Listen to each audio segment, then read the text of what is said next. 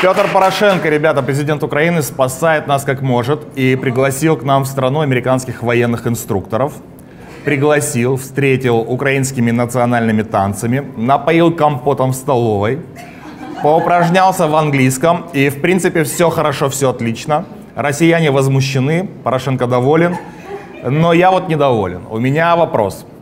Почему, когда у Америки проблемы, их спасают супергерои, а когда у нас проблемы, то к нам присылают каких-то там американских военных? Я всю жизнь смотрю американское кино и знаю, что американские военные — это фигня на постном масле. Единственное, что они умеют, это драться в барах, и половина из них геи. А как только начинается серьезная заваруха, они сразу попадают в какую-то задницу. Их самолеты сбивают, военные гибнут, танки горят. Со времен Рэмбо и Командос в Америке не родилось ни одного толкового морского котика, и всю работу по спасению страны берут на себя то Годзилла, то Трансформеры, то Железный Человек, или Зеленый Фонарь, например. А военные, они там бестолковые. И зачем их нам прислали? В Украине уже две недели анонсируют «Мстителей», а вместо них прислали каких-то там пацанов в беретах. Нас жестоко на ребят. И мне странно, что президент Порошенко этого не замечает. Я требую, чтобы этих неумех отправили назад, а к нам прислали нормального американского супергероя. Я не против Росомахи, отряда мутантов, там, например. Можно Капитана Америка, пусть он приедет, хотя он не очень мне нравится, у него только щит. Пусть пришлют Халка, он умеет уничтожать танки. На неделю пришлют и все, мы всех победим. А вот с этими людьми в камуфляжах, ну, нет, нам ничего не светит. Это Люмпен Шоу, ребят.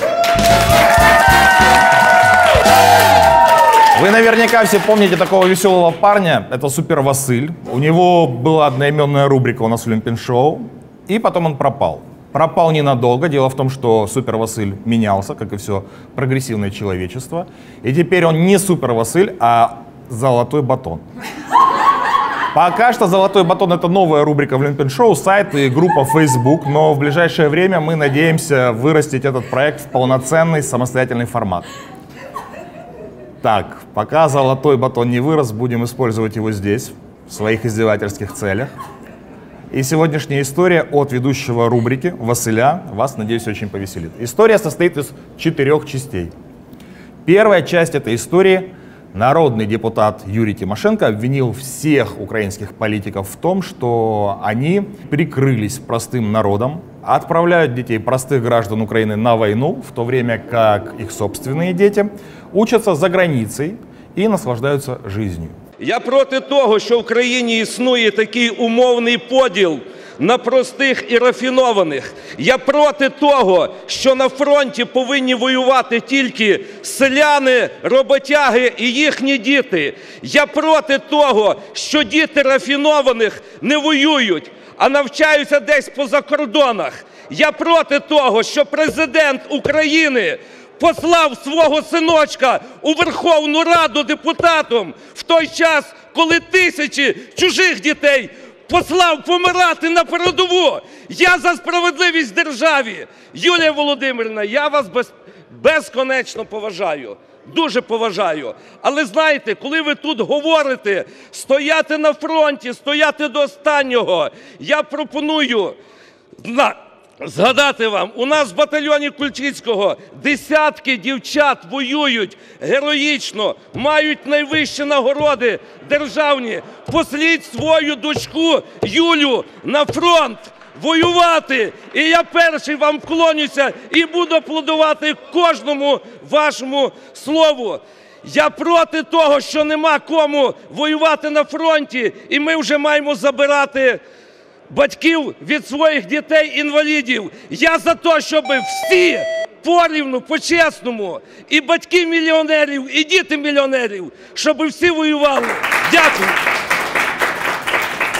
Вот благородно. Сразу видно честного, порядочного депутата, который наконец-то появился в Верховной Раде Украины и высказал всем этим негодяям в лицо все то, что мы о них думаем. Человечище, да?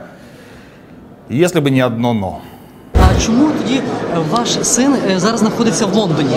Мій син не поїхав у Лондон вчора і місяць назад не поїхав. Мій син поїхав у Лондон уже ще в минулому тисячолітті. Він не рафінований? І свого сина.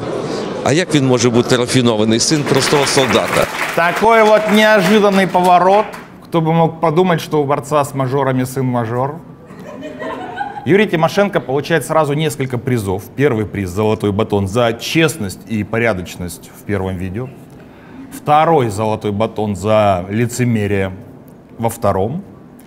И третий приз как лучший в Раде подлиза.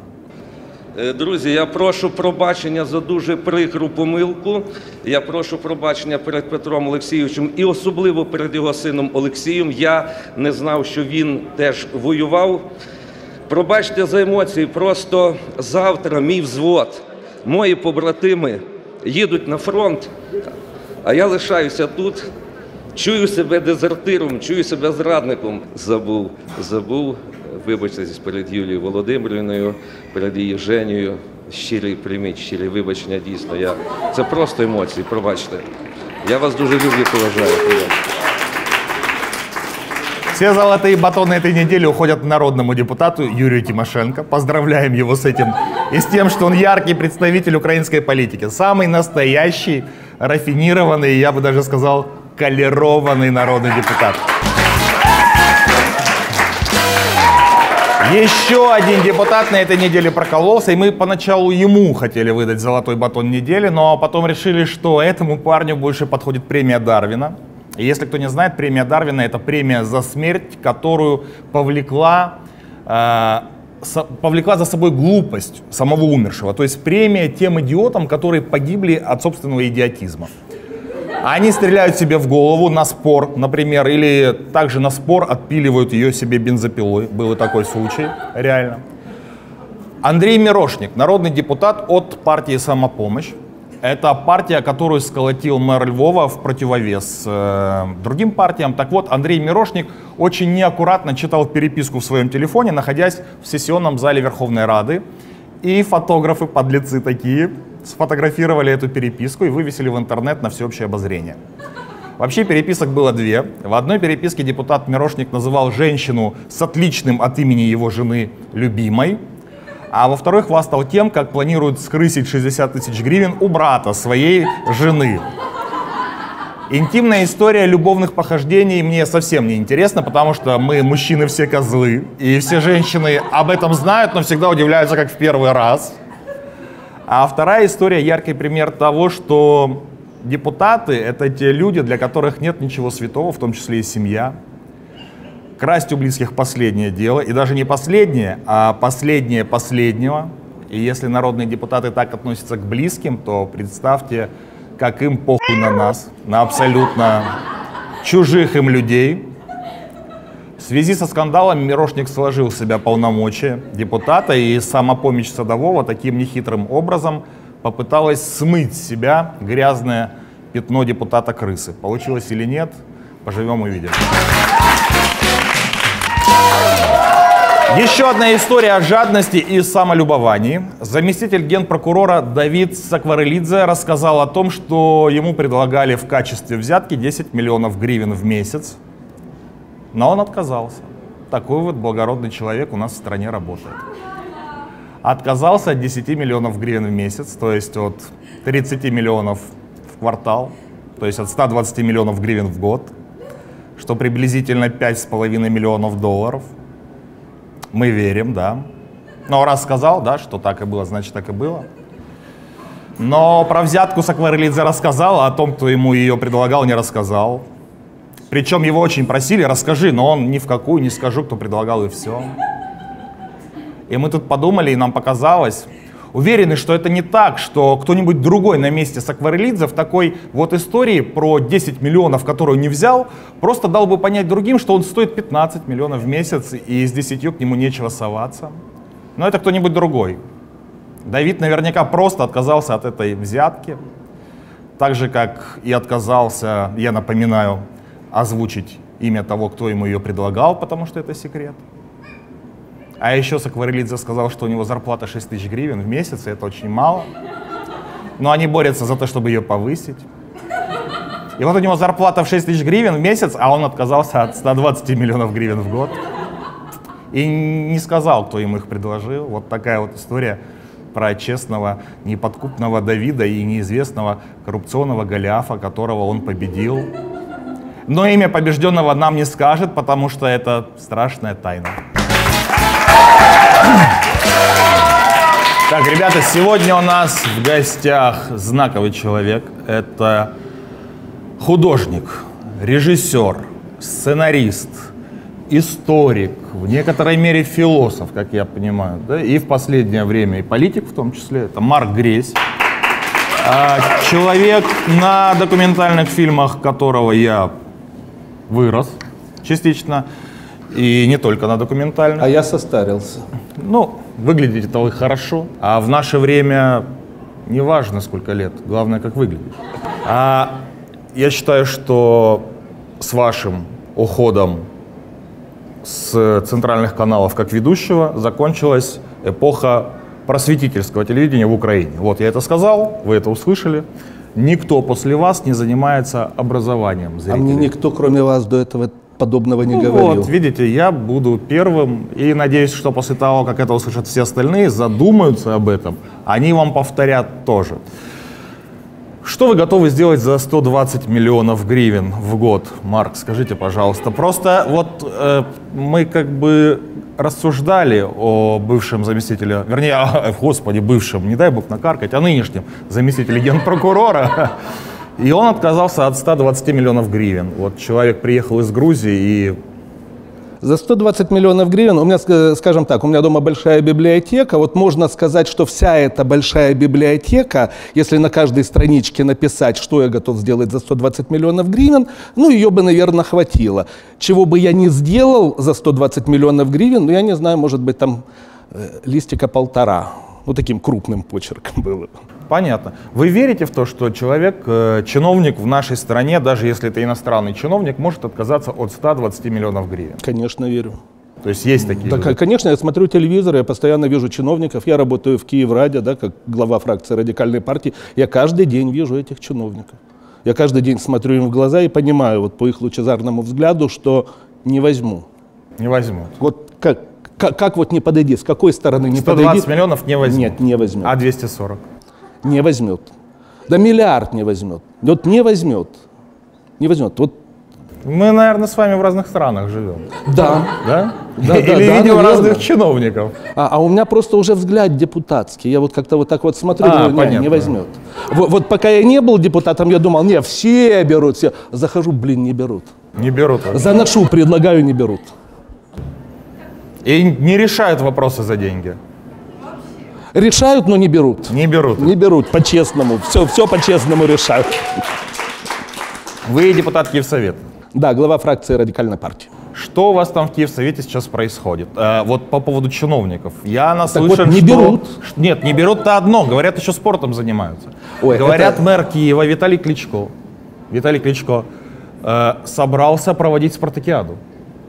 Э, Это, эти слухи действительны. И, честно говоря, даже вот э, э, заслышав информацию о том, что э, депутат Мирошник, э, ну вот так грубо попалился, да, мне, мне показалось, что он наоборот, он специально все это построил, чтобы сдать депутатский мандат, чтобы не участвовать в спартакиаде. Ну, Например, да, а ему говорят, не-не-не, хлопец, все, беги, беги, прыгай шестом, одевай трусы. Он говорит, не-не-не, лучше я сдам мандат. Он говорит, ну как-то красиво, надо И сдать позвонил, мандат, говорит, давайте. дорогая, можно я притворюсь, будто бы у меня, у нас, будто бы у нас в доме есть любовница? Да. Что, что у нас семье. закрысили, что у нас Да, закрысили что- баб. Да, да. Никак по-другому. А Ты представляешь, вот как ты будешь смотреть соседям в глаза? Я бегаю в трусах, депутат, прыгаю в шестом, там, господи, играю в городки. Некрасиво Перетягиваю канат. Не-не-не, не, это, э, это страшно. Как вам вообще деятельность мэра Киева на посту мэра Киева, собственно? А, он большой. Я, я, с- я, я- я- я с ним ездил в лифте. Э, впечатляет. Э, впе- впечатляет. Только вот, этим? э, в принципе, да. Меня, например, Кличко впечатлил рядом очень хороших кадровых решений. Ре- действительно отличных. Вот э, был же у нас, если знаете, исполняющий обязанности главы Киев Автодора. э, который, человек, который выпилил вот эти все ямы на дорогах. И Кличко его уволил, ребята. Молодец. Уволил. Через час назначил главой. Был исполняющим обязанности теперь. Больше ям. Ну, э, здесь, здесь нужно представлять, здесь надо войти в человеческую психологию. Вы представляете, как за, это, за этот отрезок времени человек успел устыдиться? Он успел пересмотреть всю свою жизнь. Это, знаете, вот как в, последний, в последнюю секунду вся жизнь. пере- И вот все эти ямы, вот когда ему сказали «уходишь», все эти ямы, как в калейдоскопе, пролетели, пролетели перед ним, ему стыдно, он стоит, господи, Покаялся. штаны мокрые, ну как, как, как этого человека не взять назад? Тем более жена его, ну вот э, мы, как раз там на, на, на последней сессии там рассматривали дело там э, его дорогой супруги. Ну, ну, Чьей- ну, чьей э, супруги? э, вот это Жуков, да, по-моему? Да, да, ну кто-то там. Я не запоминаю их фамилии, Да, потому да, что... по- по- по-моему, Жуков. Ну, перенесла она к Днепру, ну, немножечко, ну, на 50 метров э, забор, забор своего дома. Ну, там, скорее, вот всего вот то, что из ямок выпиливали, из того выстроился, э, как это в документах называется, садовый домик. Э, да, там, там был са- садовый домик на три с половиной этажа, который вот в принципе не стыдно было перенести поближе к береговой линии. А так как у нас вот согласно, э, я, кстати, вот э, попав э, в Киевсовет, э, Захотел удивился. садовый домик. Э, нет, это я, я всегда хотел А, садовый понятно. домик. Но э, я получил очень важную информацию. Вы можете себе представить, что э, Днепр в черте Киева это малая речка. То есть редко какая птица долетит до середины малой речки. Почему? Почему вот такая метаморфоза произошла с нашей рекой? Потому что, оказывается, для того, чтобы перенести нов- новостройки поближе к береговой линии, э, согласно законодательству, у большой речки, от большой речки можно начинать строить за 200 метров, а от малой речки за 50. Так вот, э, у нас Киев, согласно официальным документам там, на строительство на, на Никольской Слободке, к примеру, э, наш Славутич, э, Славутич назван э, малой речкой. Не такая уж и большая, кстати. Не, ну, не, ну в принципе да. Что вообще происходит в Киеве? Скажите, вот, ну давайте с юмором тоже. Э, стало в Киеве хуже, стало в Киеве лучше, ничего не изменилось. В Киеве стало лучше. Э, В Киеве, э, ну вот, в, в принципе, если раньше э, милицию называли там мусорами там, или прочее, А то, что, перестали? э, пе- перестали. Во, во- во всяком случае, в официальных протоколах. А, э, се- се- Сейчас, не-не-не-не, ребята, э, вы, еще рано смеетесь. Когда давили э, хлопцев под КМДА, когда там ну, сделали даже ту же имитацию под, поджога шин, ну и когда э, подбежали э, какие-то неизвестные люди, а как у нас оказалось в то время в Киевраде были неизвестные молодые люди в трех типах камуфляжа, без никаких знаков опознавания, ну они немножечко там поправили форму головы, там чуваку там обосвали, там про- в протоколе это звучало так, сознательные граждане, взяли молодых людей и пригласили в отделение милиции. Э, ну, а исходя из нашей общей тенденции вот к этому дружелюбию, пом- помните, э, ну, вот эти вот знаменитые сейчас авакомобили? Э, Вы ну, имеете в виду, а, новые машины милиции? Да, ну, прелесть. Я же я ж даже, я не знаю, там попадалось ли вам, я даже стихотворением там разразился, да, там, заслышавший сирены вой, э, остановись непременно, сложи персты на голову, на- за головой и опускайся на колено. Так что, что там дальше? Ла- Ладно, ну, оно, оно вот такое вот э, длинное и веселое. Это, э, ну, В стиле заканчив- Серебряного века. да, заканчивается, ведь едешь в гости ты, а, э, ведь едешь в гости ты к друзьям, друзей расстраивать не нужно. Ну, в общем-то, э, в, в- в в принципе, нужно в Киеве быть сознательней. Сознательней относиться э, к мэрским инициативам. Ну, ну, ну, ну, ну, нужно в конце-то концов вникать. Вот, честно говоря, я на- наконец-то начал многое понимать на заседаниях Верховной Рады, потому что с самого начала, да, вот приходишь первые разы, так вам, вам говорят, ребята, поймите нас, поймите, ну город должен строиться. Вот на, на Зверинецкой, вот почему Зверинецкую не застроить? Зверинецкая прекрасный район, обрывчик 40 метров поч- почти вертикальный. А я до этого, так, так как я являюсь еще директором студии документальных фильмов Первого национального, я делал фильм э, по Днепропетровску, там так называемый был район Тополь-1, который Да, я знаю, да, в один прекрасный день ушел под землю. Да, Э, есть история. Видео было потрясающее. Я, я сделал, э, вот это не, не я сделал, у меня в объединении был, э, был сделан фильм, я, конечно, офонарил. Точно та же ситуация. И точно так же мэр э, с трибуны говорит, ребята, ну почему вы пытаетесь остановить строительство? Ну спилили там 80 деревьев. А нахрена они нужны? Вот на, нахрена этот пух, шмели, они, они, они не нужны. Тут гораздо лучше э, выстроить вот внизу э, эт- этого яра 30-этажное здание, а 30-этажное здание просто вот по технологии, когда грунтовые воды уходят, а э, дно это было когда-то засыпанное озеро, засыпанное глиной по- по- по- после войны. И на этом засыпанном озере пос- э, собираются построить 30-этажку, люди вокруг в шоке, потому что они знают, завалится, когда пойдет э, скажем, грунтовые воды, вот они идут между слоями земли, и когда они упираются в бетонную стену, они начинают вымывать, Вымывать, и, да, конечно. и образовывать свое озеро. На домах уже трещины э, появились. И люди э, в абсолютнейшем бешенстве, потому что они понимают, что их девятиэтажки могут просто, не просто сползти, а просто вот так хлоп, То есть это мы упасть. должны понимать, что война людей против этого строительства всего, это не война за вид из квартиры. Да. Это война за то, чтобы дом остался стоять. глупая война за то, чтобы дом оставался стоять. Зачем? Вот спрашивается. Есть система пониманий, цивилизационных пониманий или цивилизационных непониманий. Э, Та власть, которая ныне э, существует, э, она Ведь мы выходили, скажем, на тот, на тот же Майдан э, для того, чтобы изменить цивилизацию. Не для того, чтобы снять э, Януковича как такового, а для того, чтобы изменить хоть в некоторой степени изменить цивилизационные подходы человека к самому себе, человека к человеку. Они Вы оказались первый, кто об этом говорит, на самом деле, из в этой того же цивилизацион... они оказались из того же цивилизационного подхода, из той же системы договоренности. Они, безусловно, вот эта э, новая власть, которая сейчас э, является собой э, Киевсовет, она э, умеет действовать не более аккуратно, иногда она действует гораздо более хамски, но она очень э, красиво умеет э, облекать все это в словесные формулировки. Да- да- дос- Ну, достаточно как красиво, потому мэр что... Киева в словесной формулировке, мы знаем. Да, по- по- потому что ну, при, в этом смысле они не косноязычны, кроме, э, ну, пардон, там самому, ну ему и не нужно говорить. Да. Давайте вернемся к изменению цивилизационной направляющей в э, развитии нашей страны. Я уже сказал, что еще никто до этого не озвучивал э, то, что произошло, так как озвучили вы.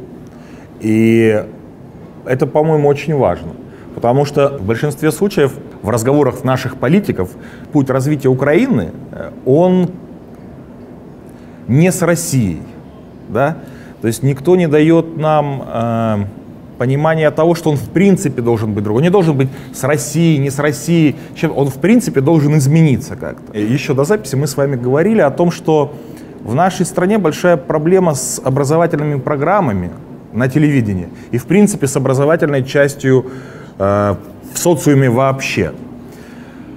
Возможно ли изменение вот этой вот цивилизационной направляющей, этого направления, без того, чтобы не восстанавливать в Украине, скажем так, разрушенную под основание культуру? А в том, что она разрушена, я так понимаю, сомнений нет уже ни у кого. Э, Скажем так, да, там, э, я бы сказал, там не разрушена э, образовательная часть на телевидении, там, об- образовательный Просветительская, сегмент. да, просветительская. просветительский. У нас вообще исчезло общение как такового, как таковое. То есть типово общение напрочь исчезло. То, то, что называется ток-шоу, это же не является общением человека с человеком, да, не является общением одного умного человека с другим человеком с целью получить некое новое знание, некое новое видение, там, некое новое понимание. И вот э, практически, я могу сказать, уже практически 15 лет э, э, Украина находится после того, как э, фактически рухнули плюсы и когда, как, как рухнул Интер своей классической эпохи, общение вообще исчезло с телевизионного экрана.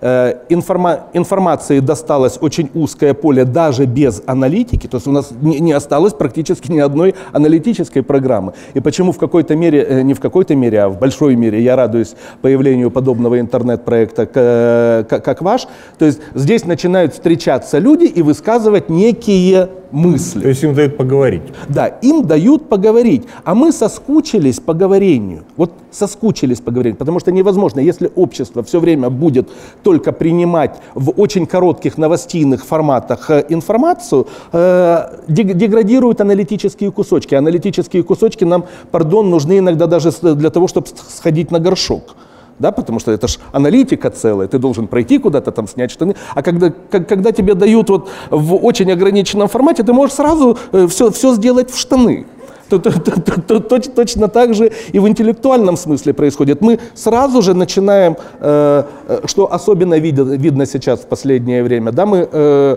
говорим сейчас в формате либо «Слава Украине», либо там, ну там «Да, да здравствует Россия». Но невозможно говорить подобными э, форматами, создавая цивилизацию. Безусловно.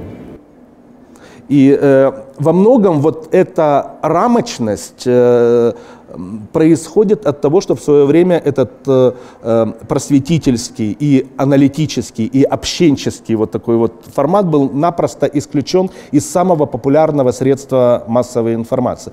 И фактически в интернете, если бы не подобные проекты, как вы, то интернет это то же самое. Это сокращение новости до мизера и уход нехай, э, ну, до, до 4 до 5 строк. Я сам знаю, да, я как э, новостейщик, там, я знаю, что такое новость. Но новости мало. А людям уже, вот я иногда там пишу, пишу посты, и в комментах пишут слишком много буквок.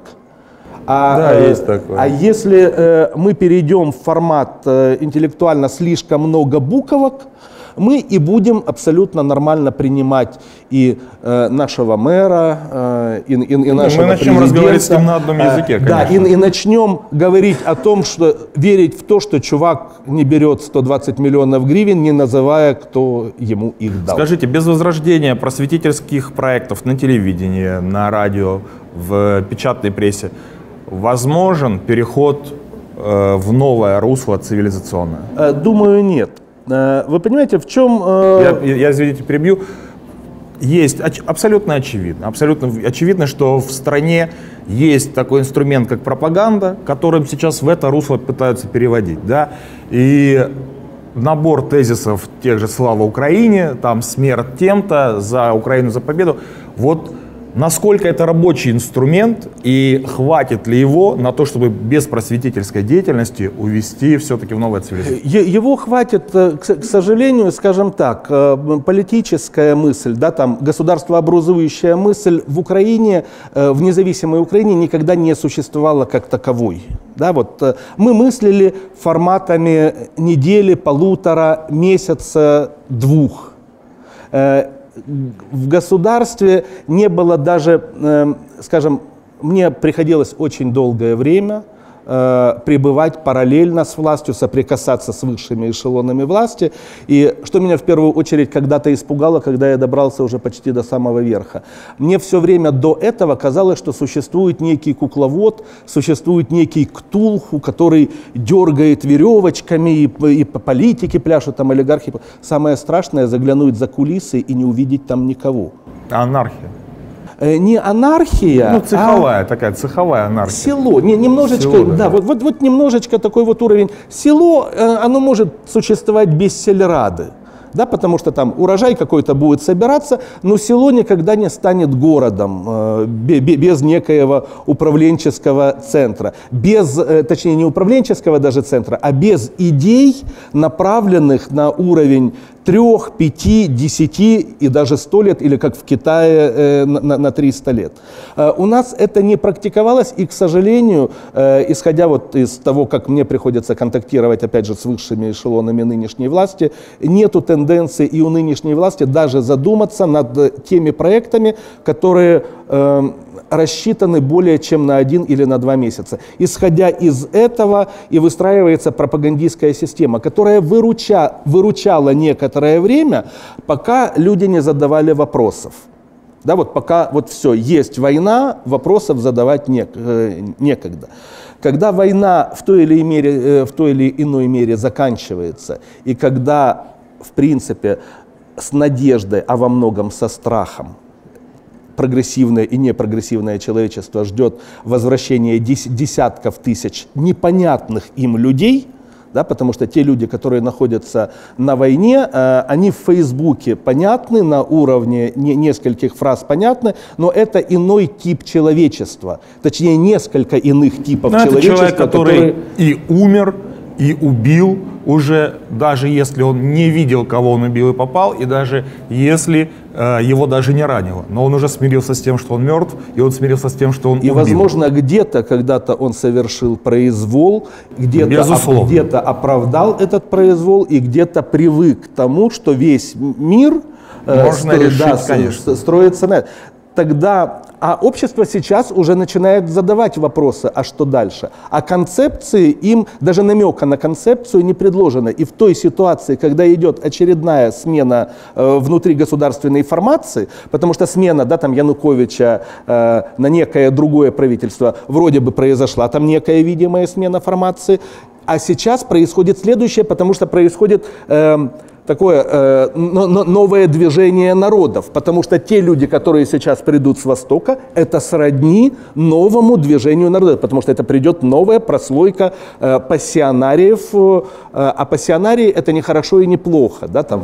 Это просто по-другому. Это, это, это по-другому. И к этому другому нам нужно внутренне э, э, задавать вопросы и предполагать уже какие-то ответы, которые будут поставлены обществом в новых условиях. Иначе мы не построим цивилизацию, иначе новую цивилизацию. Э, я имею в виду даже не с нынешними политиками. Иначе не будет даже надежды, что эти политики, которые пришли, сменятся на нечто более э, цивилизационно иное. Э, потому что мы, общество само еще не проецирует тех э, вопросов. Да, вот, я их задаю себе, вы их задаете себе, но поле э, задавания подобных вопросов еще не выведено э, в формат э, общенационального диалога. А если человек... И общенационального понимания, конечно же. Про, да, а без что... диалога не возникнет, э, соответственно, и понимания. Но 90 же процентов людей сейчас в стране искренне до сих пор верят, что это свергали Януковича.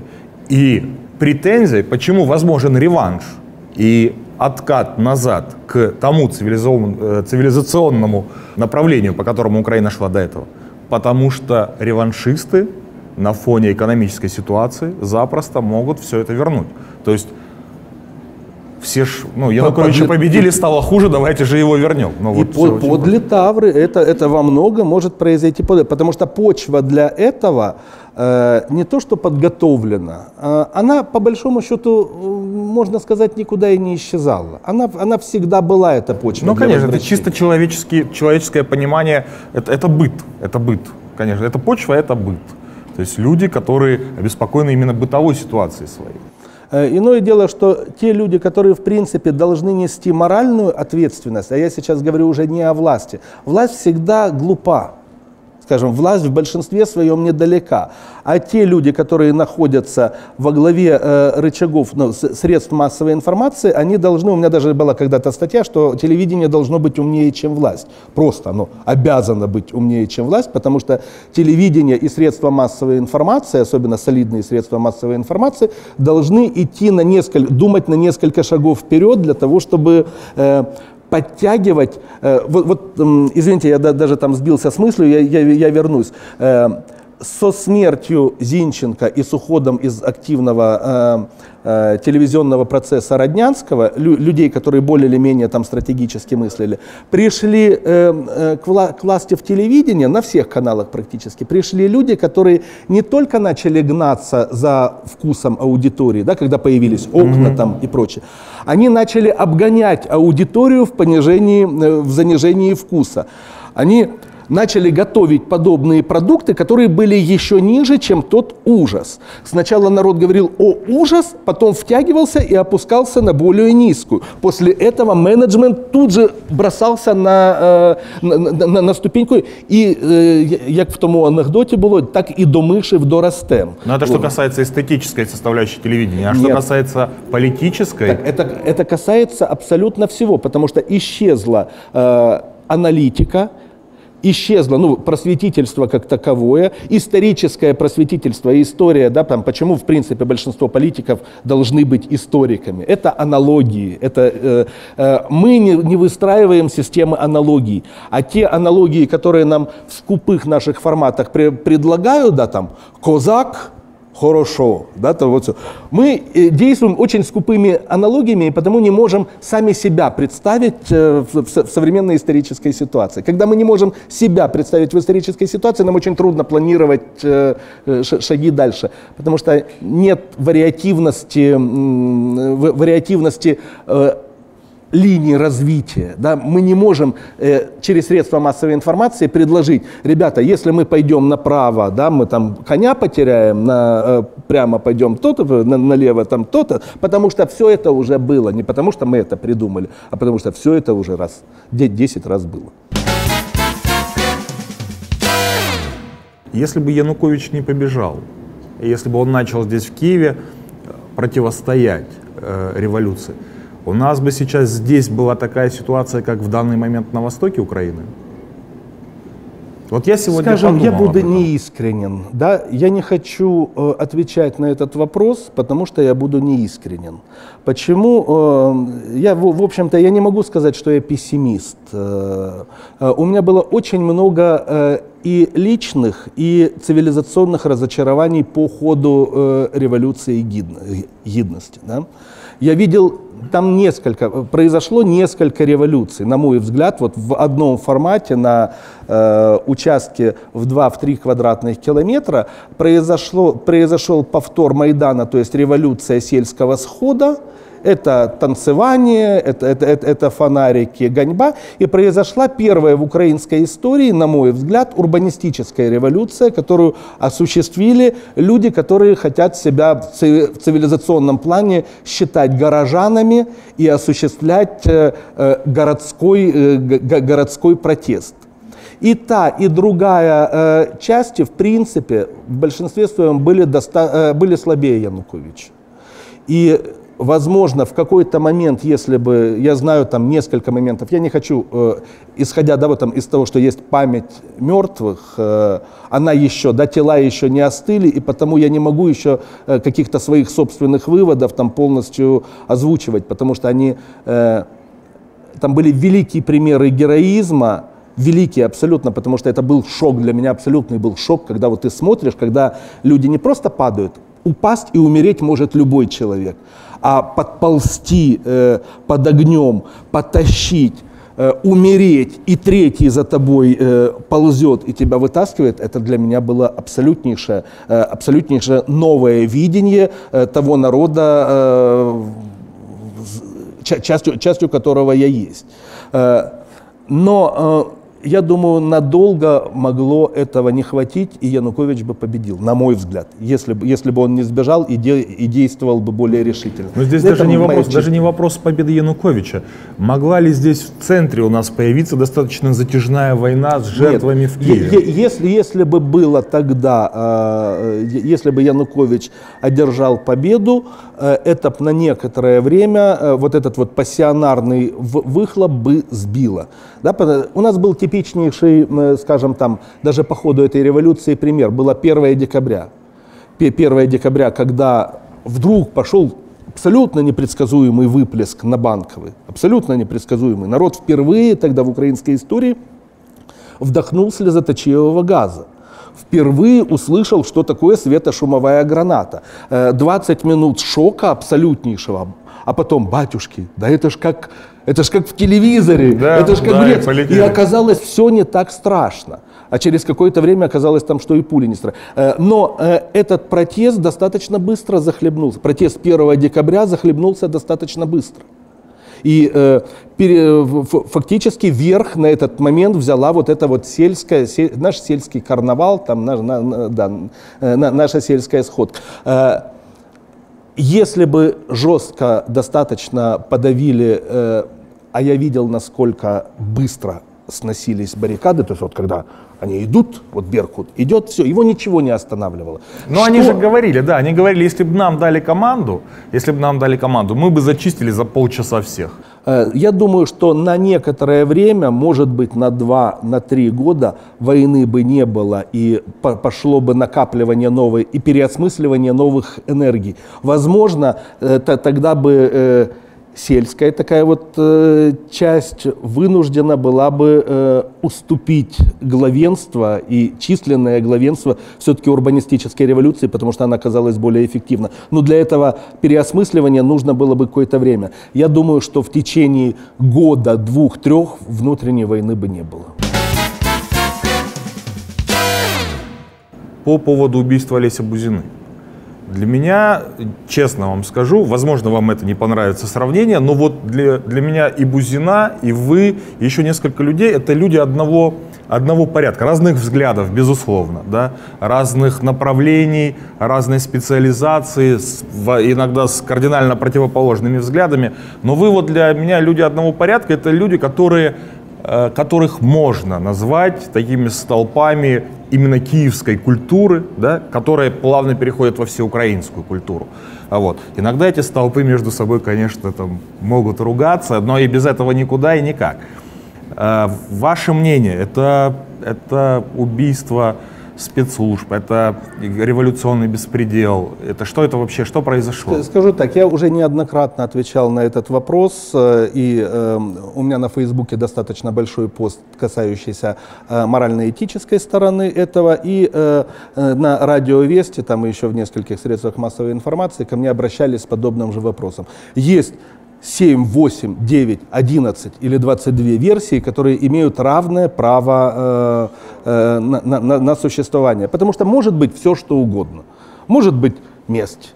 Ну, в это, в это я как раз верю в меньшей степени, потому что я не совсем верю, зная достаточно э, многие экстремистские организации, что они в состоянии э, организовать сеть, ну вот не, несколько убийств. То есть одно осуществить можно, э, но с технической точки зрения все-таки нужна достаточно серьезная подготовка для того, чтобы со- совершить несколько убийств и не попалиться э, там сразу. Ну, я вам честно скажу, меня, вот честно, насколько бы цинично это ни звучало, меня убийство Калашникова, как гражданина, э, трогает, практически не трогает.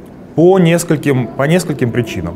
Калашников занимал то место, которое он занимал. Калашников был боевым офицером, он был вооружен, он знал, он знал, что с ним может быть, Мы- мы просто- и он, и он, ну, то есть он знал, на что, что это вопрос войны, да, если человек идет на войну, он знает, что его должны убить, поэтому там не может быть как такового горького, горького сожаления о нем. То есть, да, плохо убивать, безусловно, но вот Кашникова нет. А вот с- именно с Бузиной, Скажу, э, скажу так. Для меня Бузина точно такой же солдат, который, в принципе, он знал, на что он шел.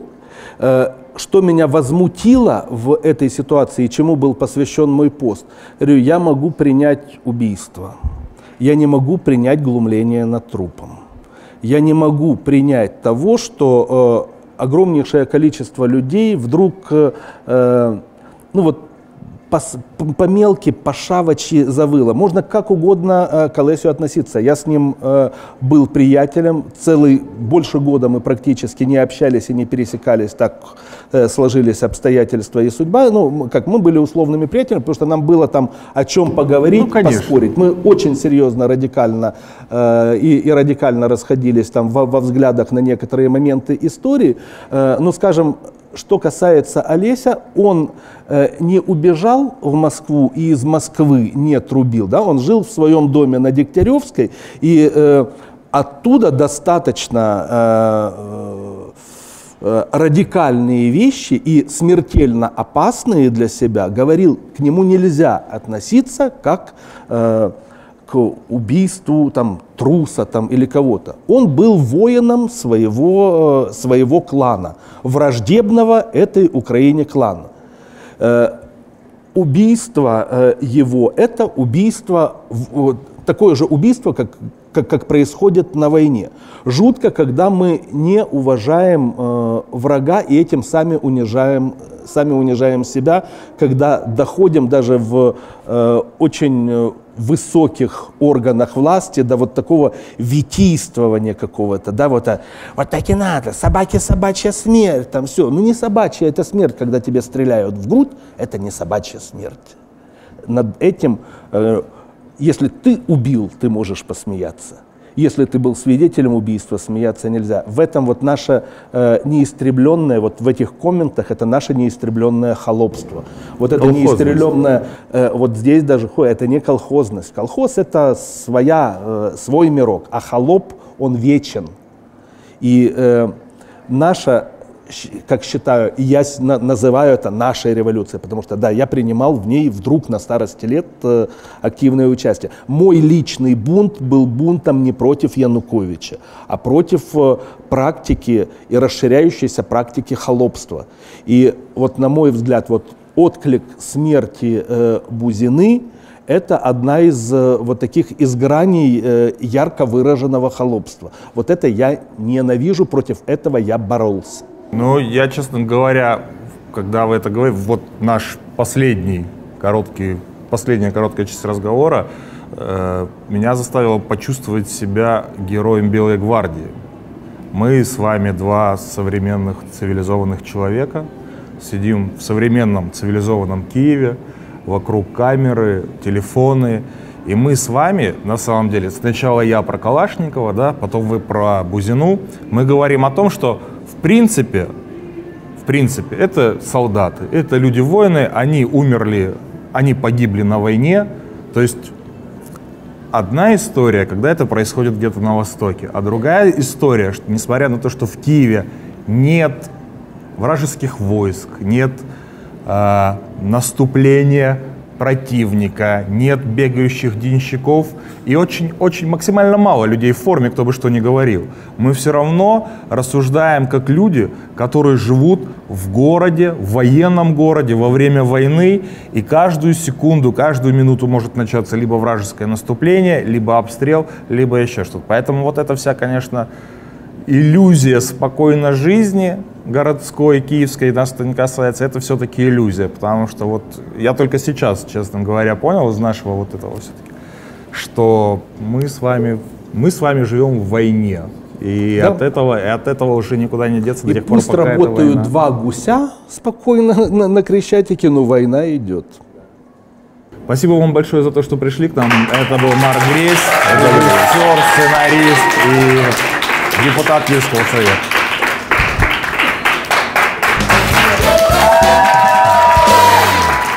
Ребята, Люмпин Шоу меняет адрес, мы переезжаем из этой студии в другую и, в принципе, меняем немного формат шоу. В связи с этим у нас будет небольшой перерыв в 2-3 недели, а потом мы снова вернемся и будем издеваться над глупостью наших милых политических кровопийц. Не переживайте, мы не пропадаем, а просто идем в короткий технический отпуск. До следующего раза, до следующего Люмпин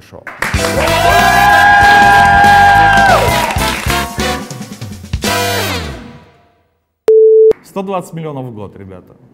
120 миллионов в год. На что? На все, да, я так понимаю?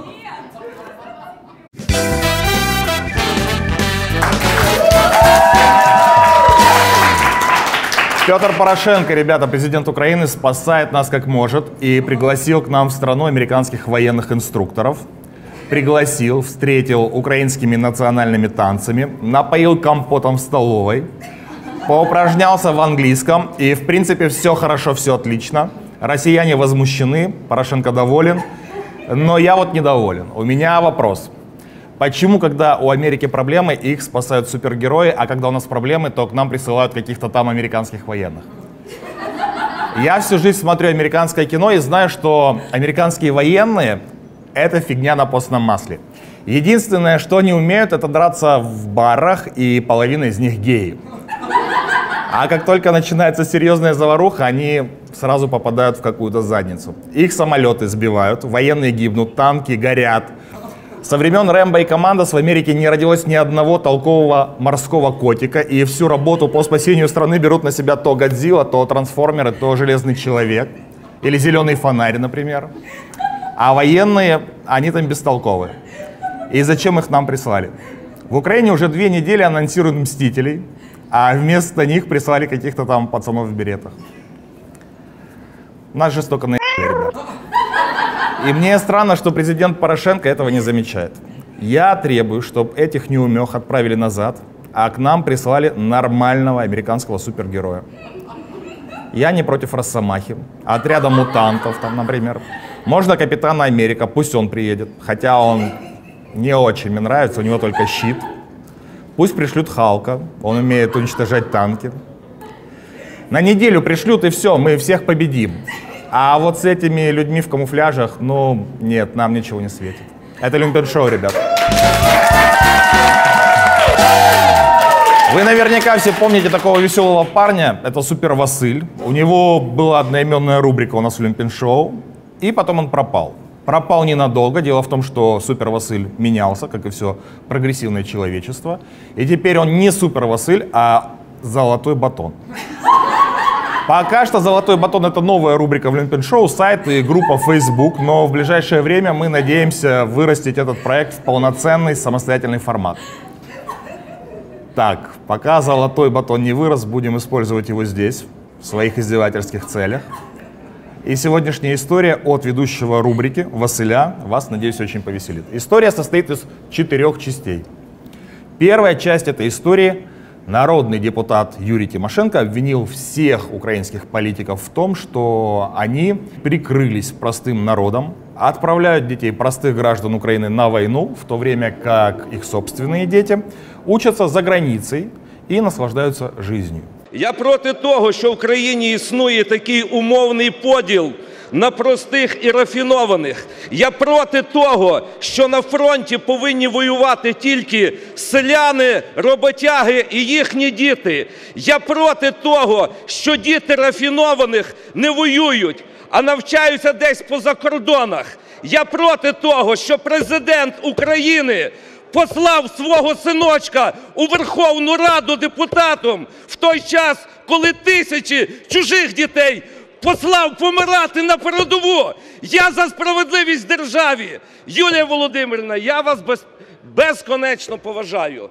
Дуже поважаю. Але знаєте, коли ви тут говорите стояти на фронті, стояти до останнього, я пропоную Згадати вам, у нас в батальйоні Кульчицького десятки дівчат воюють героїчно, мають найвищі нагороди державні. Посліть свою дочку Юлю на фронт воювати. І я перший вам вклонюся і буду аплодувати кожному вашому слову.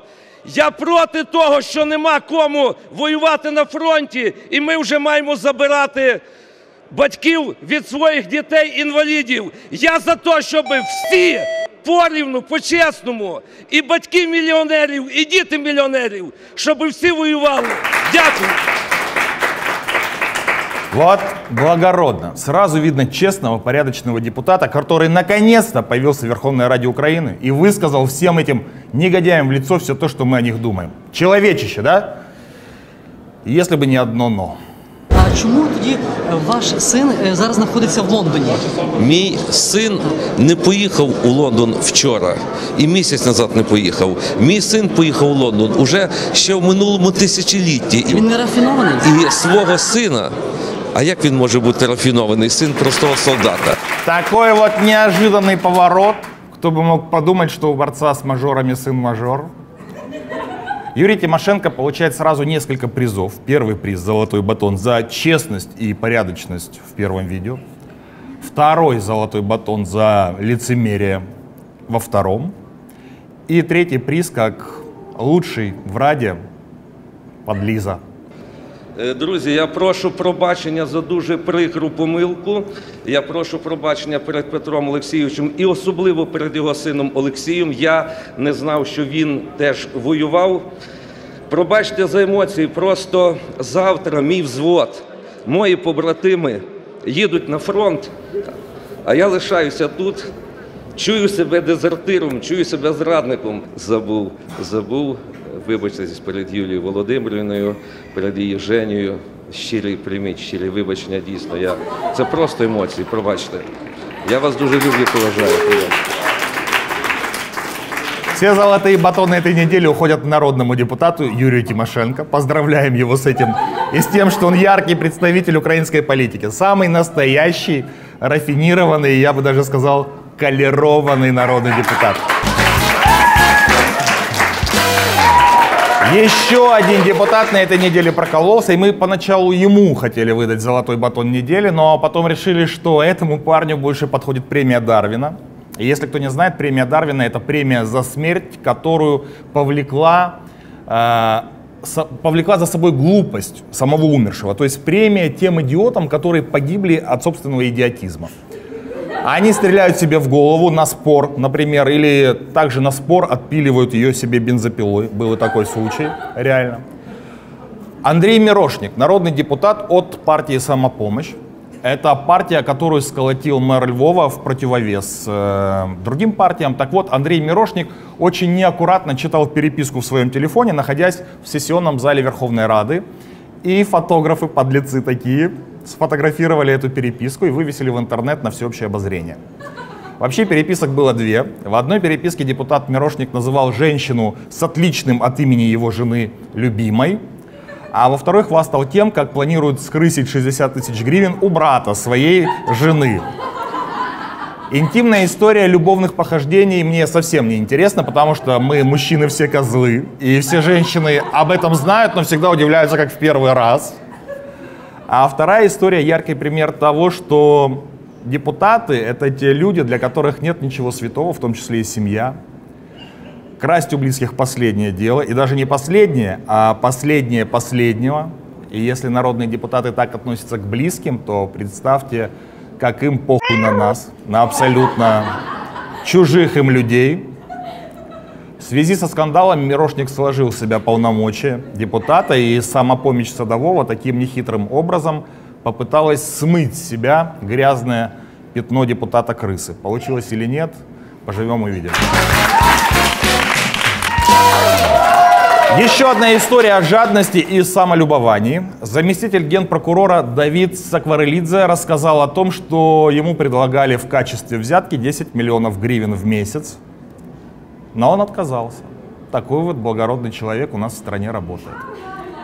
Отказался от 10 миллионов гривен в месяц, то есть от 30 миллионов в квартал, то есть от 120 миллионов гривен в год, что приблизительно 5,5 миллионов долларов. Мы верим, да. Но раз сказал, да, что так и было, значит так и было. Но про взятку Сакварелидзе рассказал, а о том, кто ему ее предлагал, не рассказал. Причем его очень просили, расскажи, но он ни в какую не скажу, кто предлагал и все. И мы тут подумали, и нам показалось, уверены, что это не так, что кто-нибудь другой на месте Сакварелидзе в такой вот истории про 10 миллионов, которую не взял, просто дал бы понять другим, что он стоит 15 миллионов в месяц, и с 10 к нему нечего соваться. Но это кто-нибудь другой. Давид наверняка просто отказался от этой взятки, так же, как и отказался, я напоминаю, озвучить имя того, кто ему ее предлагал, потому что это секрет. А еще Сакварелидзе сказал, что у него зарплата 6 тысяч гривен в месяц, и это очень мало. Но они борются за то, чтобы ее повысить. И вот у него зарплата в 6 тысяч гривен в месяц, а он отказался от 120 миллионов гривен в год. И не сказал, кто им их предложил. Вот такая вот история про честного, неподкупного Давида и неизвестного коррупционного Голиафа, которого он победил. Но имя побежденного нам не скажет, потому что это страшная тайна. Так, ребята, сегодня у нас в гостях знаковый человек. Это художник, режиссер, сценарист, историк, в некоторой мере философ, как я понимаю, да, и в последнее время и политик в том числе, это Марк Гресь. А, Человек, на документальных фильмах которого я вырос частично, и не только на документальных. А я состарился. Ну, выглядите-то вы хорошо, а в наше время не важно, сколько лет, главное, как выглядишь. А я считаю, что с вашим уходом с центральных каналов как ведущего закончилась эпоха просветительского телевидения в Украине. Вот я это сказал, вы это услышали. Никто после вас не занимается образованием А зрителей. мне никто, кроме вас, до этого подобного не Ну говорил. Вот, видите, я буду первым, и надеюсь, что после того, как это услышат все остальные, задумаются об этом, они вам повторят тоже. Что вы готовы сделать за 120 миллионов гривен в год, Марк? Скажите, пожалуйста. Просто вот э, мы как бы рассуждали о бывшем заместителе, вернее, о, господи, бывшем, не дай бог накаркать, о нынешнем заместителе генпрокурора. И он отказался от 120 миллионов гривен. Вот человек приехал из Грузии и За 120 миллионов гривен, у меня, ск- скажем так, у меня дома большая библиотека. Вот можно сказать, что вся эта большая библиотека, если на каждой страничке написать, что я готов сделать за 120 миллионов гривен, ну, ее бы, наверное, хватило. Чего бы я не сделал за 120 миллионов гривен, ну, я не знаю, может быть, там э, листика полтора. Ну, таким крупным почерком было. Понятно. Вы верите в то, что человек, э, чиновник в нашей стране, даже если это иностранный чиновник, может отказаться от 120 миллионов гривен? Конечно, верю. То есть есть такие Да, люди? конечно, я смотрю телевизор, я постоянно вижу чиновников. Я работаю в Киевраде, да, как глава фракции радикальной партии. Я каждый день вижу этих чиновников. Я каждый день смотрю им в глаза и понимаю вот по их лучезарному взгляду, что не возьму. Не возьмут. Вот как, как, как вот не подойди, с какой стороны не 120 подойди, миллионов не возьмут. Нет, не возьмет. А 240? Не возьмет. Да миллиард не возьмет. Вот не возьмет. Не возьмет. Вот Мы, наверное, с вами в разных странах живем. да. Да? Да, Или да, да, видим наверное. разных чиновников. А, а у меня просто уже взгляд депутатский. Я вот как-то вот так вот смотрю, А, думаю, не, не возьмет. Вот, вот пока я не был депутатом, я думал, не, все берут, все. Захожу, блин, не берут. Не берут. вас. Заношу, предлагаю, не берут. И не решают вопросы за деньги. Решают, но не берут. Не берут. Не берут, по-честному. Все, все по-честному решают. Вы депутат Киевсовета. Да, глава фракции радикальной партии. Что у вас там в Киевсовете сейчас происходит? Э, вот по поводу чиновников. Я Так наслышан, вот, не что- берут. Нет, не берут-то одно. Говорят, еще спортом занимаются. Ой, Говорят, это- мэр Киева Виталий Кличко, Виталий Кличко э, собрался проводить спартакиаду. Э, Это, эти слухи действительны. И, честно говоря, даже вот э, заслышав информацию о том, что э, депутат Мирошник, ну вот так грубо попалился, да, мне, мне показалось, что он наоборот, он специально все это построил, чтобы сдать депутатский мандат, чтобы не участвовать в спартакиаде. Ну, Например, да, а понятно. ему говорят, не-не-не, хлопец, все, беги, беги, прыгай шестом, одевай трусы. Он говорит, не-не-не, лучше я сдам мандат. Он говорит, ну как-то красиво, надо И сдать позвонил, мандат, говорит, давайте. дорогая, можно я притворюсь, будто бы у меня, у нас, будто бы у нас в доме есть любовница? Да. Что, что у нас семейство. закрысили, что у нас Да, закрысили что- баб. да, да. Никак по-другому. А ты представляешь, вот как ты будешь смотреть соседям в глаза? Я бегаю в трусах, депутат, прыгаю в шестом, там, господи, играю в городки. Некрасиво Перетягиваю неудобно канат. Не-не-не, не, это, э, это страшно. Как вам вообще деятельность мэра Киева на посту мэра Киева, собственно? А, он большой. Я, я, с- я, я- я- я с ним ездил в лифте. Э, впечатляет. Э, впе- впечатляет. Вот- Только вот, этим? э, в принципе, да. Меня, например, Кличко впечатлил рядом очень хороших кадровых решений. Ре- действительно отличных. Вот э, был же у нас, если знаете, исполняющий обязанности главы Киев Автодора, э, который, человек, который выпилил вот эти все ямы на дорогах. И Кличко его уволил, ребята. Молодец. Уволил. Через час назначил главой. Был исполняющим обязанности теперь. Больше ям.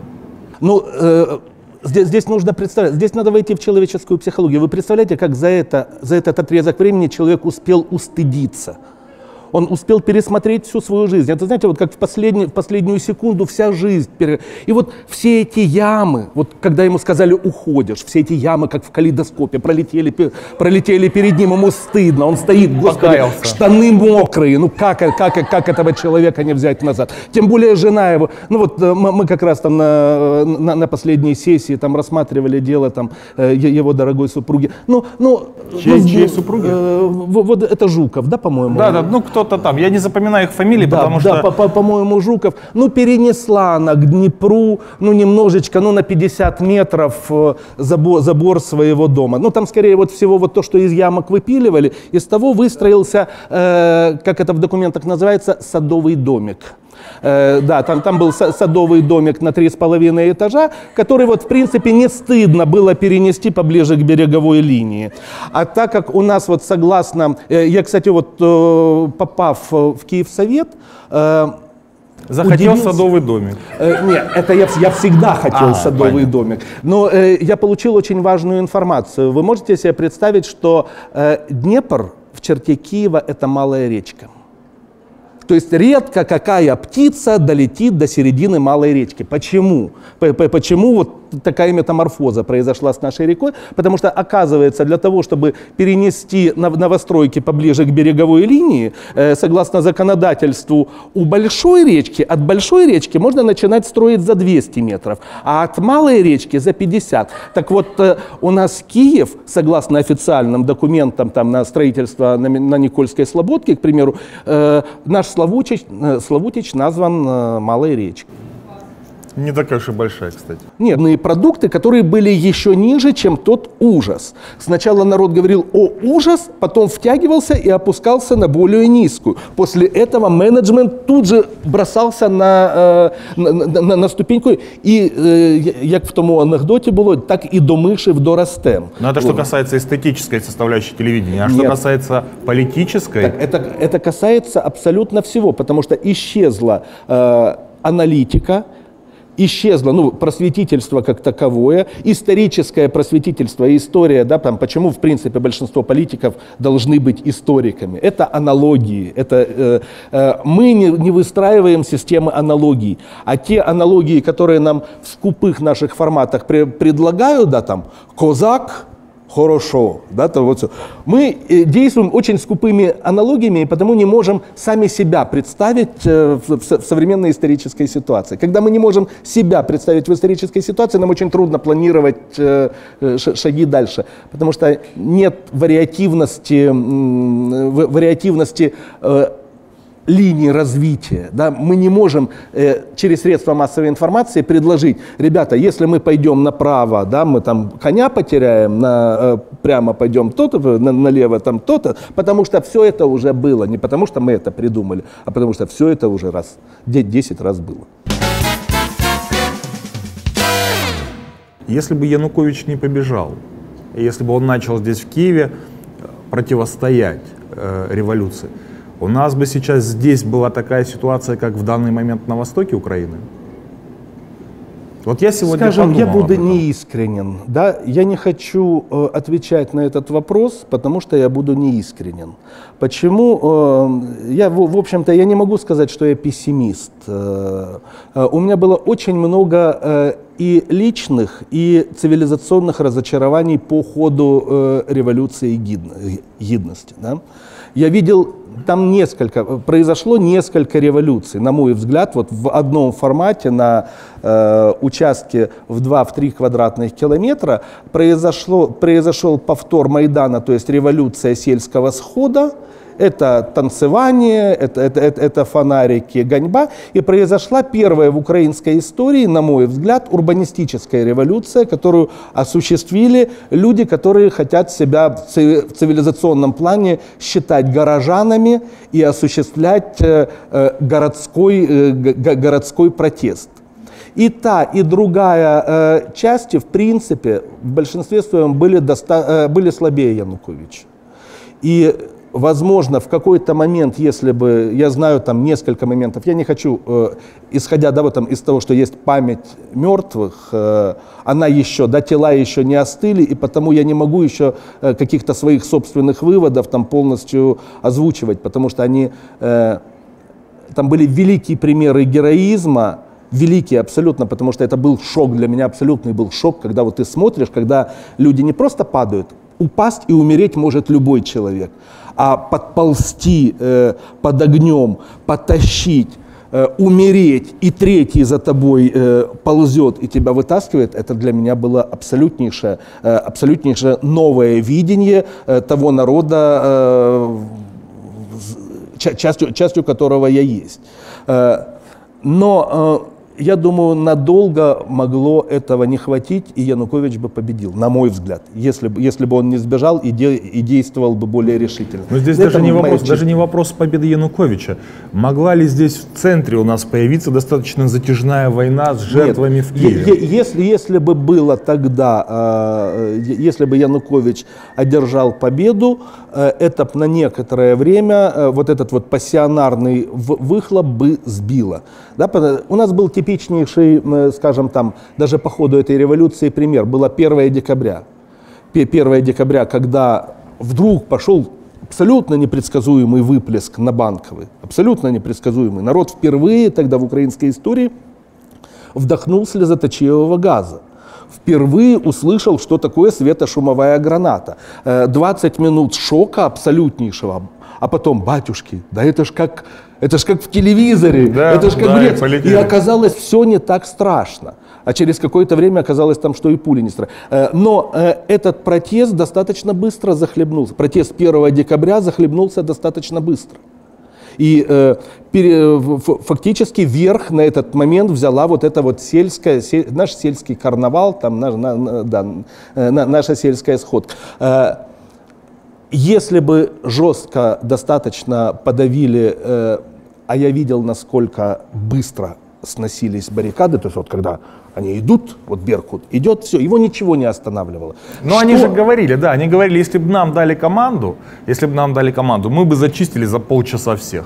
Э, Я думаю, что на некоторое время, может быть, на два, на три года войны бы не было, и по- пошло бы накапливание новой и переосмысливание новых энергий. Возможно, э, тогда бы э, сельская такая вот э, часть вынуждена была бы э, уступить главенство и численное главенство все-таки урбанистической революции, потому что она оказалась более эффективна. Но для этого переосмысливания нужно было бы какое-то время. Я думаю, что в течение года, двух, трех внутренней войны бы не было. По поводу убийства Олеся Бузины. Для меня, честно вам скажу, возможно, вам это не понравится сравнение, но вот для, для меня и Бузина, и вы, и еще несколько людей, это люди одного, одного порядка, разных взглядов, безусловно, да, разных направлений, разной специализации, с- иногда с кардинально противоположными взглядами. Но вы вот для меня люди одного порядка, это люди, которые которых можно назвать такими столпами именно киевской культуры, да, которая плавно переходит во всеукраинскую культуру. А вот. Иногда эти столпы между собой, конечно, там, могут ругаться, но и без этого никуда и никак. Э, Ваше мнение, это, это убийство спецслужб, это революционный беспредел, это что это вообще, что произошло? Скажу так, я уже неоднократно отвечал на этот вопрос, э, и э, у меня на Фейсбуке достаточно большой пост, касающийся э, морально-этической стороны этого, и э, э, на радио Вести, там еще в нескольких средствах массовой информации ко мне обращались с подобным же вопросом. Есть 7, 8, 9, 11 или 22 версии, которые имеют равное право э, э, на, на- на- существование. Потому что может быть все, что угодно. Может быть месть.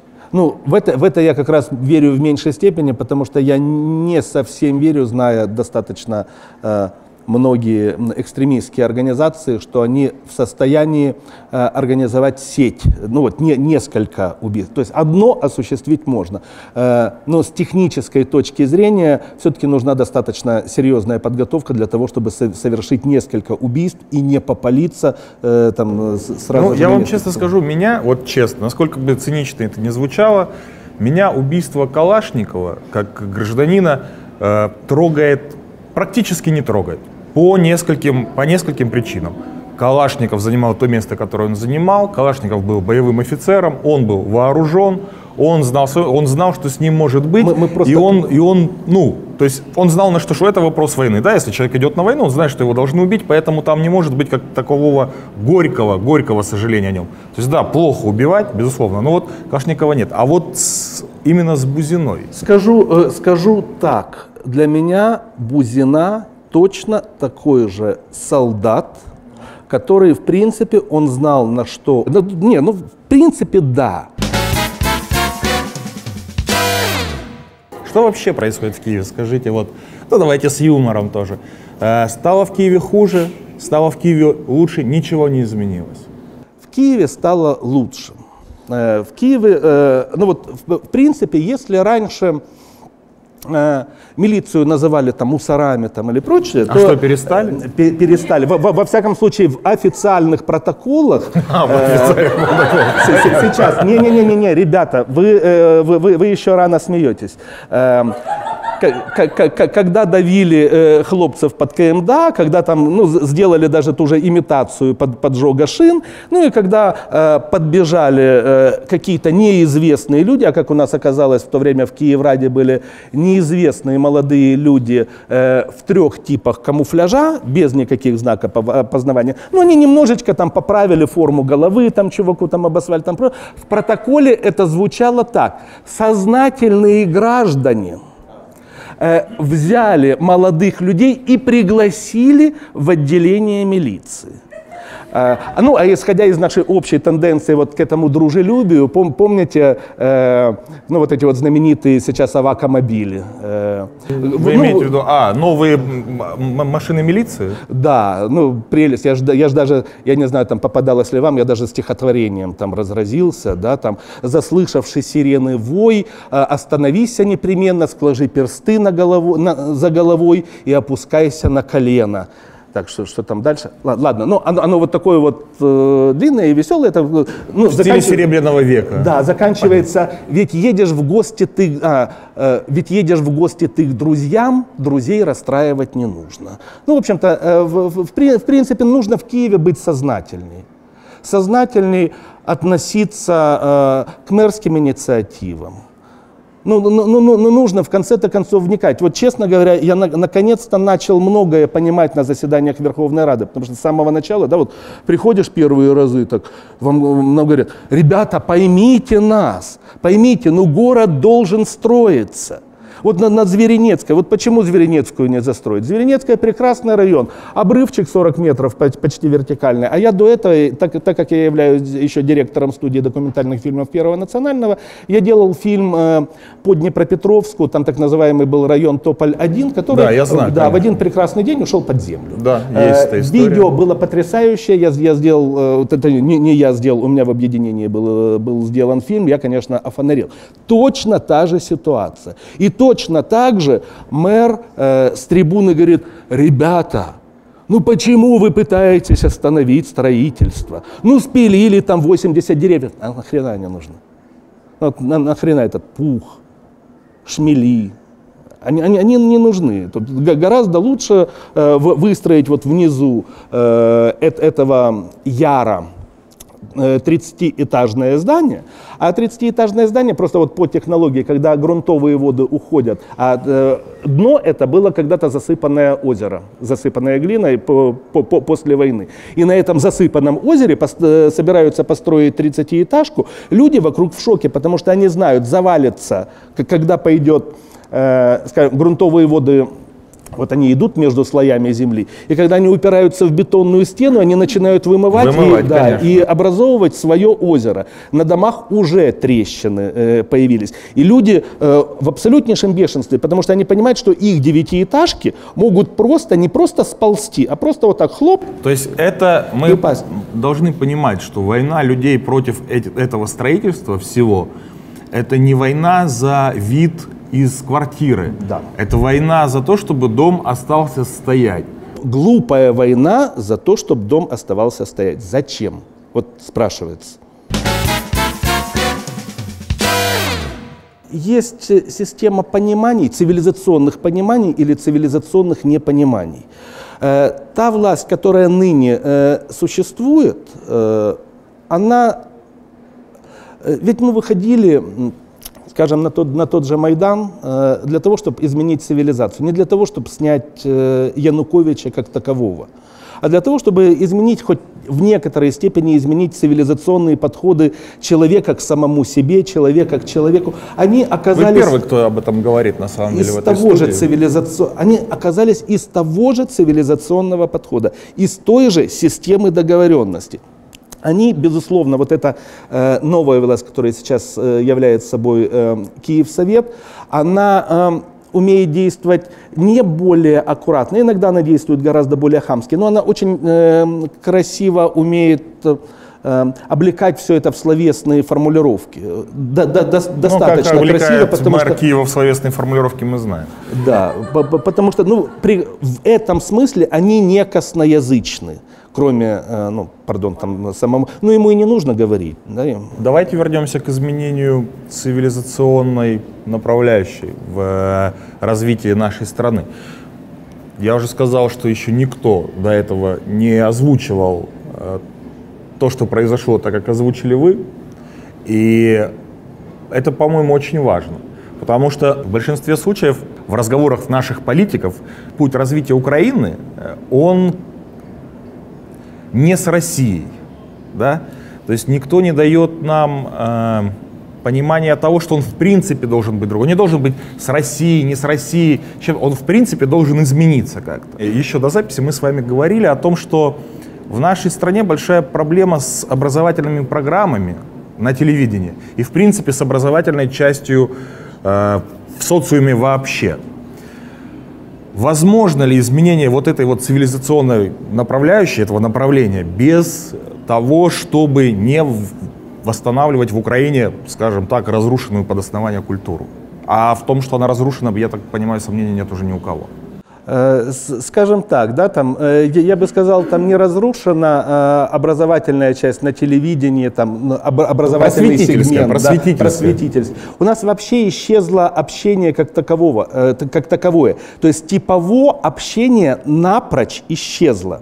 То, то, что называется ток-шоу, это же не является общением человека с человеком, да, не является общением одного умного человека с другим человеком с целью получить некое новое знание, некое новое видение, там, некое новое понимание. И вот э, практически, я могу сказать, уже практически 15 лет э, э, Украина находится после того, как э, фактически рухнули плюсы и когда, как, как рухнул Интер своей классической эпохи, общение вообще исчезло с телевизионного экрана. Э, информа- информации досталось очень узкое поле даже без аналитики, то есть у нас не, не осталось практически ни одной аналитической программы. И почему в какой-то мере, э, не в какой-то мере, а в большой мере я радуюсь появлению подобного интернет-проекта, к- как ваш, то есть здесь начинают встречаться люди и высказывать некие мысли. То есть им дают поговорить. Да, им дают поговорить, а мы соскучились по говорению. Вот соскучились по говорению, потому что невозможно, если общество все время будет только принимать в очень коротких новостейных форматах э, информацию, э, дег- деградируют аналитические кусочки. Аналитические кусочки нам, пардон, нужны иногда даже для того, чтобы сходить на горшок. Да, потому что это же аналитика целая, ты должен пройти куда-то там, снять штаны. А когда, как- когда тебе дают вот в очень ограниченном формате, ты можешь сразу все, все сделать в штаны. То- то- то- то- то- точ- Точно так же и в интеллектуальном смысле происходит. Мы сразу же начинаем, э, э, что особенно видно, видно сейчас в последнее время, да, мы э, говорим сейчас в формате либо «Слава Украине», либо там, ну там «Да, да здравствует Россия». Но невозможно говорить подобными э, форматами, создавая цивилизацию. Безусловно. И э, во многом вот эта рамочность, э, происходит от того, что в свое время этот э, э, просветительский и аналитический и общенческий вот такой вот формат был напросто исключен из самого популярного средства массовой информации. И фактически в интернете, если бы не подобные проекты, как вы, то интернет это то же самое. Это сокращение новости до мизера и уход нехай, э, ну, до, до 4 до 5 строк. Я сам знаю, да, я как э, нов- новостейщик, там, я знаю, что такое новость. Но новости мало. А людям уже, вот я иногда там пишу, пишу посты, и в комментах пишут слишком много буквок. А, Да, э, есть такое. А если э, мы перейдем в формат э, интеллектуально слишком много буквок, мы и будем абсолютно нормально принимать и э, нашего мэра, э, и, и- и нашего начнем разговаривать с ним на одном Э, языке, Да, и, конечно. и начнем говорить о том, что верить в то, что чувак не берет 120 миллионов гривен, не называя, кто ему их дал. Скажите, без возрождения просветительских проектов на телевидении, на радио, в печатной прессе, возможен переход э, в новое русло цивилизационное? Э, Думаю, нет. Э, Вы понимаете, в чем... э, Я, я, извините, перебью. Есть оч- абсолютно очевидно, абсолютно очевидно, что в стране есть такой инструмент, как пропаганда, которым сейчас в это русло пытаются переводить, да, и набор тезисов тех же «Слава Украине», там «Смерть тем-то», «За Украину, за победу», вот насколько это рабочий инструмент и хватит ли его на то, чтобы без просветительской деятельности увести все-таки в новое цивилизацию? Его хватит, э, к сожалению, скажем так, э, политическая мысль, да, там, государствообразующая мысль в Украине, э, в независимой Украине никогда не существовала как таковой. Да, вот, мы мыслили форматами недели, полутора, месяца, двух. В государстве не было даже, э, скажем, мне приходилось очень долгое время э, пребывать параллельно с властью, соприкасаться с высшими эшелонами власти. И что меня в первую очередь когда-то испугало, когда я добрался уже почти до самого верха.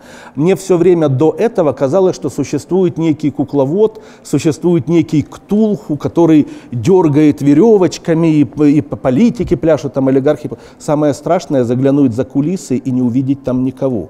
Анархия. Э, Не анархия, Ну, а цеховая такая, цеховая анархия. Село, не, немножечко, Село, да, да. вот, вот, вот немножечко такой вот уровень. Село, э, оно может существовать без сельрады, да, потому что там урожай какой-то будет собираться, но село никогда не станет городом э, бе- бе- без некоего управленческого центра, без, э, точнее не управленческого даже центра, а без идей, направленных на уровень трех, пяти, десяти и даже сто лет, или как в Китае э, на, 300 лет. Э, у нас это не практиковалось, и, к сожалению, э, исходя вот из того, как мне приходится контактировать, опять же, с высшими эшелонами нынешней власти, нету тенденции и у нынешней власти даже задуматься над э, теми проектами, которые э, рассчитаны более чем на один или на два месяца. Исходя из этого и выстраивается пропагандистская система, которая выруча, выручала некоторое время, пока люди не задавали вопросов. Да, вот пока вот все, есть война, вопросов задавать не, э, некогда. Когда война в той, или мере, э, в той или иной мере заканчивается, и когда, в принципе, с надеждой, а во многом со страхом, прогрессивное и непрогрессивное человечество ждет возвращения дес- десятков тысяч непонятных им людей, да, потому что те люди, которые находятся на войне, э, они в Фейсбуке понятны, на уровне не- нескольких фраз понятны, но это иной тип человечества, точнее несколько иных типов это человечества, человек, который которые- и умер, и убил уже, даже если он не видел, кого он убил и попал, и даже если э, его даже не ранило. Но он уже смирился с тем, что он мертв, и он смирился с тем, что он И, убил. возможно, где-то когда-то он совершил произвол, где-то, оп- где-то оправдал этот произвол и где-то привык к тому, что весь мир э, Можно решить, с- конечно. строится на этом. Тогда, а общество сейчас уже начинает задавать вопросы, а что дальше? А концепции им, даже намека на концепцию не предложено. И в той ситуации, когда идет очередная смена э, внутри государственной формации, потому что смена, да, там Януковича э, на некое другое правительство вроде бы произошла, там некая видимая смена формации, А сейчас происходит следующее, потому что происходит эм, такое э, но- но- новое движение народов, потому что те люди, которые сейчас придут с Востока, это сродни новому движению народов, потому что это придет новая прослойка э, пассионариев, э, а пассионарии это не хорошо и не плохо, да, там, Это просто по-другому. это, это- это по-другому. И к этому другому нам нужно внутренне э, э, задавать вопросы и предполагать уже какие-то ответы, которые будут поставлены обществом в новых условиях. Иначе мы не построим цивилизацию, иначе новую цивилизацию. Э, я имею в виду даже не с нынешними политиками. ин- иначе не будет даже надежды, что эти политики, которые пришли, сменятся на нечто более э, цивилизационно иное. Э, Потому что мы, общество само еще не проецирует тех э, вопросов. Да, вот, я их задаю себе, вы их задаете себе, но поле э, задавания подобных вопросов еще не выведено э, в формат э, общенационального диалога. А если человек... И общенационального понимания, конечно же. Про- да, а потому без что- диалога не возникнет, э, со- соответственно, и понимания. Но 90 же процентов людей сейчас в стране искренне до сих пор верят, что это свергали Януковича. И претензии, почему возможен реванш и откат назад к тому э, цивилизационному направлению, по которому Украина шла до этого. Потому что реваншисты на фоне экономической ситуации запросто могут все это вернуть. То есть все ж, ну, Януковича подли- победили, стало хуже, давайте же его вернем. Ну, И вот по- всё очень подле Тавры это, это во многом может произойти, подле- потому что почва для этого э, не то что подготовлена, э, она по большому счету, э, можно сказать, никуда и не исчезала. Она, она всегда была, эта почва. Ну, конечно, это чисто человеческий, человеческое понимание, это, это быт, это быт, конечно, это почва, это быт. То есть люди, которые обеспокоены именно бытовой ситуацией своей.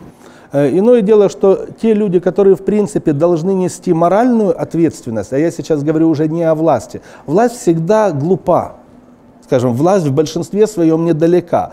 А те люди, которые находятся во главе э, рычагов ну, средств массовой информации, они должны, у меня даже была когда-то статья, что телевидение должно быть умнее, чем власть. Просто оно обязано быть умнее, чем власть, потому что телевидение и средства массовой информации, особенно солидные средства массовой информации, должны идти на несколько, думать на несколько шагов вперед для того, чтобы э, подтягивать, э, вот, вот, извините, я да- даже там сбился с мыслью, я, я, я вернусь.